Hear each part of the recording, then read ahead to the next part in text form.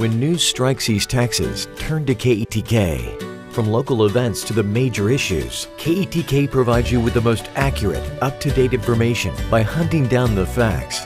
When you need to know, our reporters are on the scene.